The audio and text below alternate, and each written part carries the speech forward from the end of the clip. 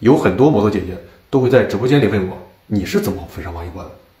在这儿啊，我统一回复一下，我是从热烈入坑，然后经过我疯狂考古王一博，这坑啊是越挖越深。等我稍微停下来往上看时，做梦都想不到，来来时候好好的，回不去，反正也回不去了，就闷头继续挖吧。反正挖的都是好东西，我还真是好奇啊，挖到底到底是个啥样子呢？我等着你。一言为定。今天呢，给大家讲一讲我们家和王一博的缘分。回想起当初，其实缘分早已注定。首先呢，我给大家展示一下这个，Look，来来，镜头拉近，这个是一个带有王一博头像的靠枕，SKJ 呢是他代言的一个品牌。缘分呢，就是从这个靠枕开始的。我呢最早见到这个靠枕呢，是在三年前，也就是二零二一年六月份。我媳妇儿因为视力不好，高度近视、高度散光，所以就在网上买了一个眼部按摩仪。咱们都知道，网上买东西啊，商家会习惯性的赠送一些小礼品啊、周边啊，所以买这个按摩仪同样也赠送了小礼品和一些周边，其中一个就这个靠枕。当时我只记得靠枕上是个人的头像，呃，没有注意到他是谁，所以就把靠枕放一边了。然而，没过两天，令我震惊的事情发生了。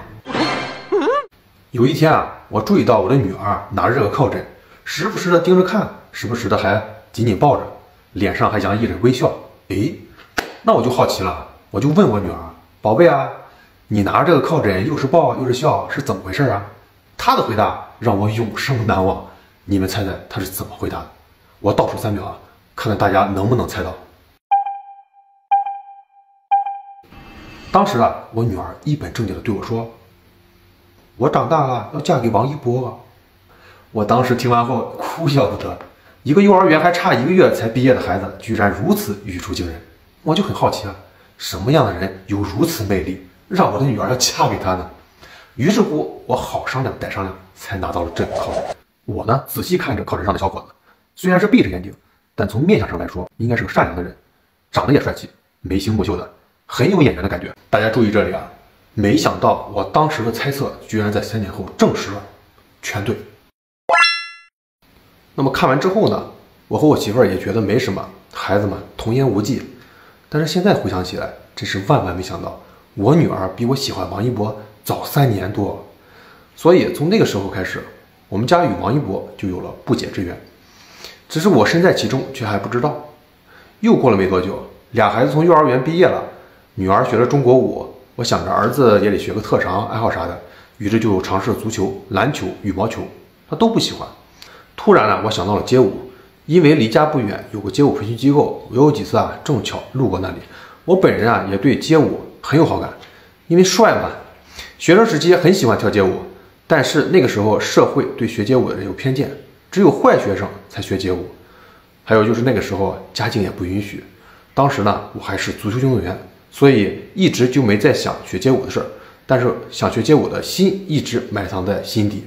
现在呢，国家强大了，人民物质条件也好了，想学什么都有。但于是啊，带着儿子去试了一堂街舞课，这一试不要紧，立马喜欢上街舞了，当场我就把钱交了。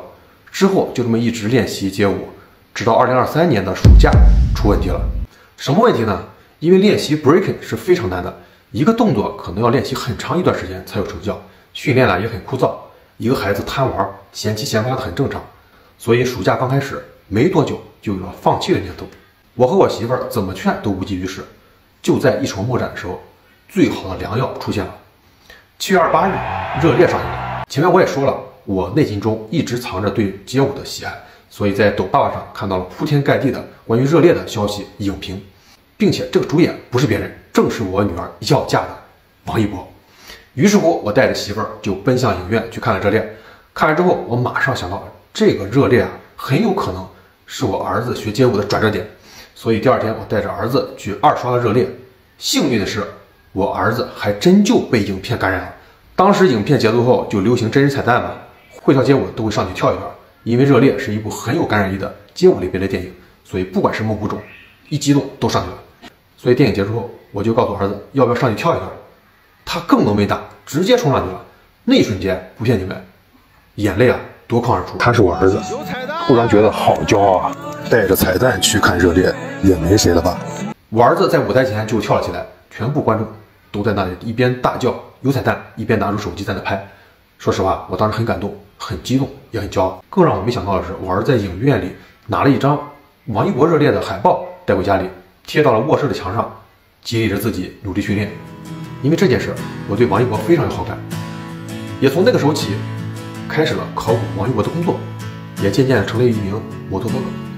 从我媳妇儿好巧不巧的买了王一博代言的产品，再到我女儿要嫁给王一博，再到我儿子因为王一博坚持跳街舞，再到我深陷考古中无法自拔，王一博给我本人给我的家庭带来了巨大变化。在此，我要感谢王一博，没有你的出现，也许我的儿子已经放弃跳街舞。也许我还活在过去那种浑浑噩噩的状态中，活在当一天和尚撞一天钟的状态中。今天分享了我们一家与一博之间发生的缘分。除了想表达感谢之意，我还想说，王一博值得我们去喜爱、去了解、去追捧、去欣赏、去模仿、去维护、去追随。因为这道光很亮，它不仅能让我们认清未来的道路如何前行，而且能让我们在精神层面变得坚韧无比。对未来充满希望，并且对此深信不疑。我是三十，我已经在向阳生长的路上，你还在犹豫什么？一起来吧！我只是从这世界经过，做一个平凡的旁观者，拥抱所有生命的希